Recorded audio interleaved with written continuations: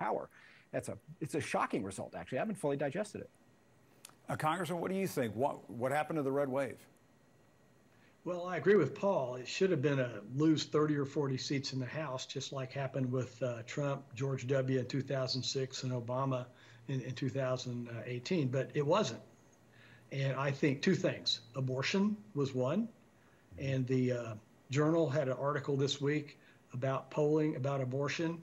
And in 2018 and 20, 10% of Democrats, paraphrasing, and 80% of Republicans said it was an important issue. And that flip flopped in 2022. So that was an issue. And then the worst, then, then we have Trump.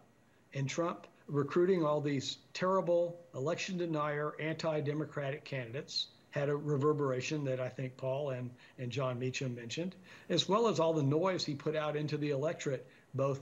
For Democrats and against Republicans. This guy is the best thing for Democrats since FDR.